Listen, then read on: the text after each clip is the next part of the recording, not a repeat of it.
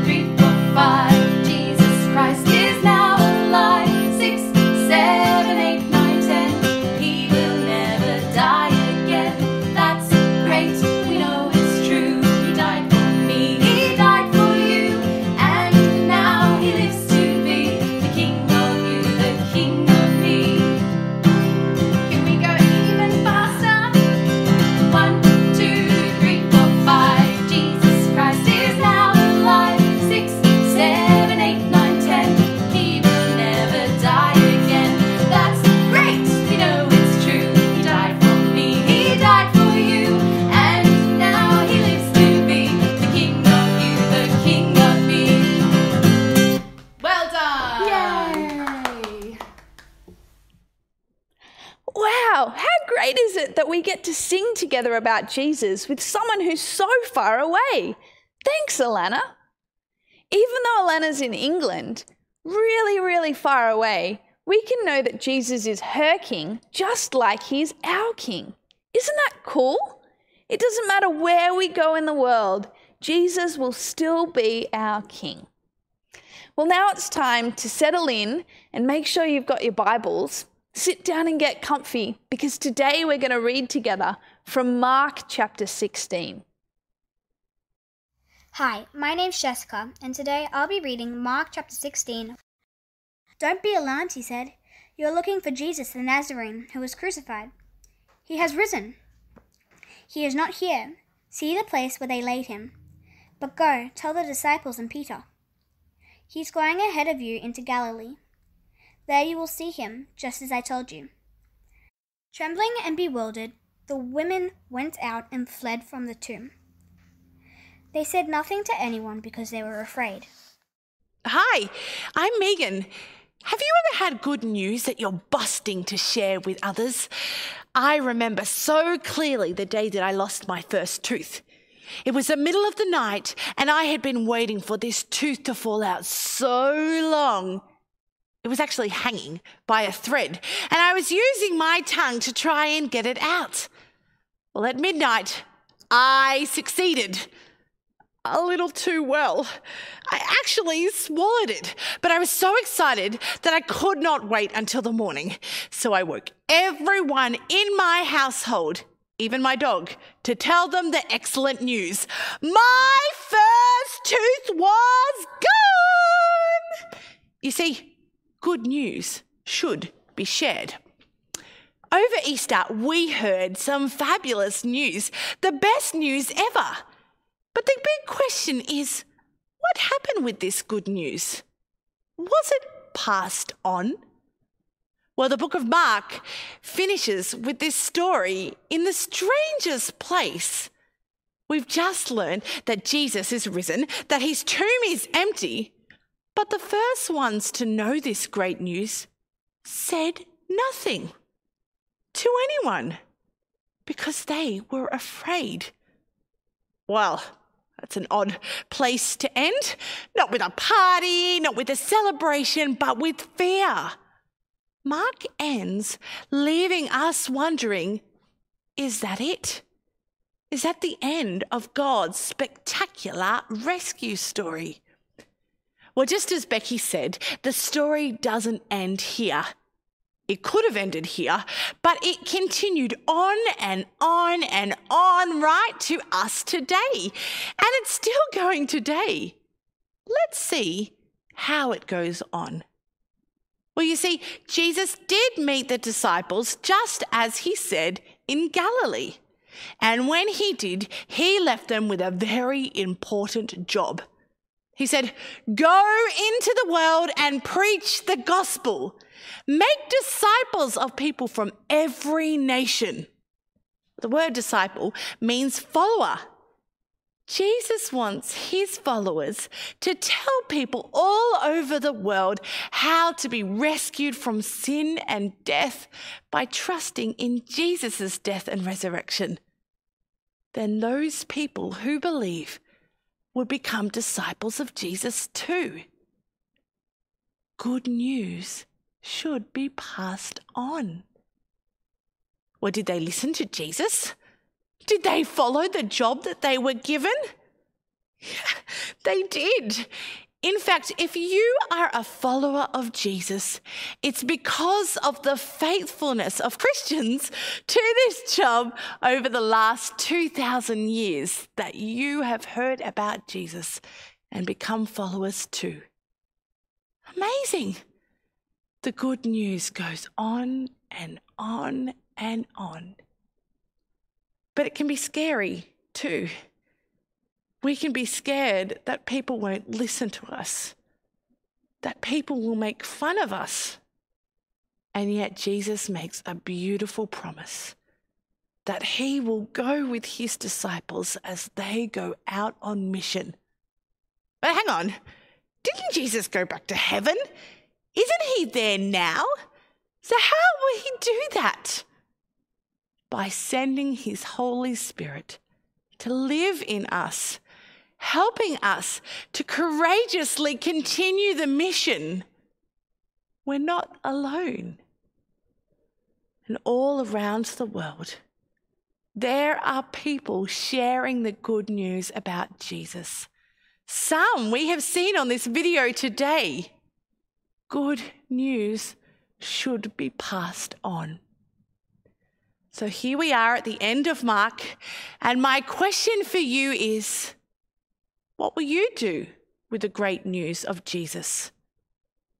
I'm praying for you and the church around the world that we would continue to faithfully give ourselves to the job of sharing the good news in whatever way we can.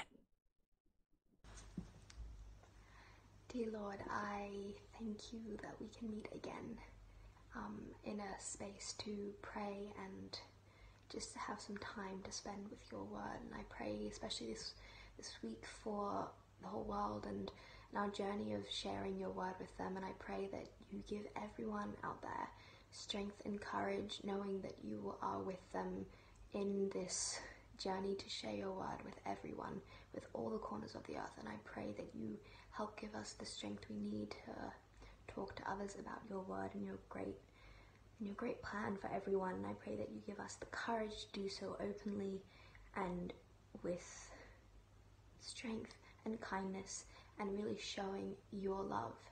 In your name I pray. Amen. Thanks, Lola. Well, earlier today we got to sing with a friend who's in England. Now we're going to practice our memory verse for the final time, and we have some special friends to help us, all the way from Chile. Hi, Michael. Hi, Joe. Well, we've been practicing our memory verse for a while now, so I hope you know it off by heart. But as we sing it together with Michael and Joe, Lola is going to teach us how to say it by signing in Auslan as well. Watch what she does, and then you can join in once you get the hang of it.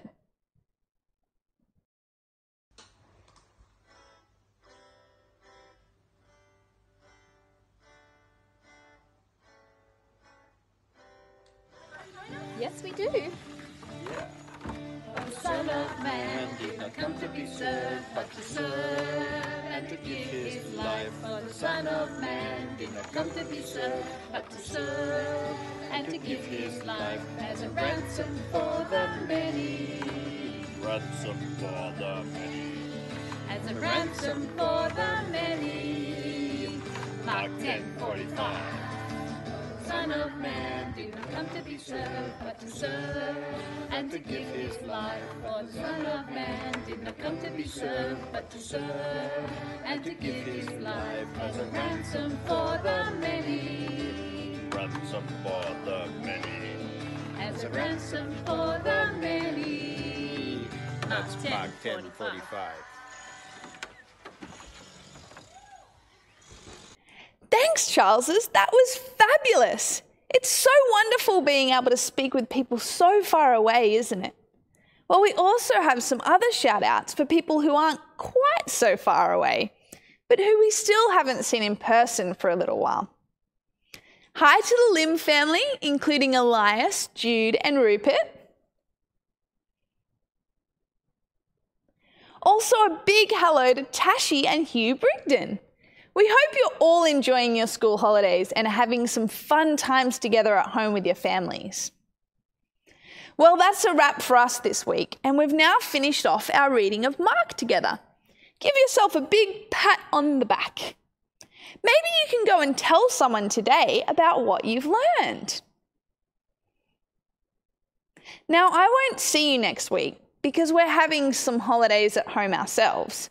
But Little Church will be back the week after, and we're really looking forward to seeing you then. For now, I'll leave you with a song about how Jesus rocks the world.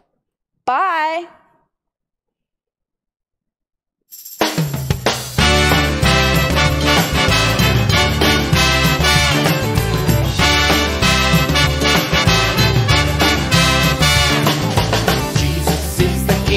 king.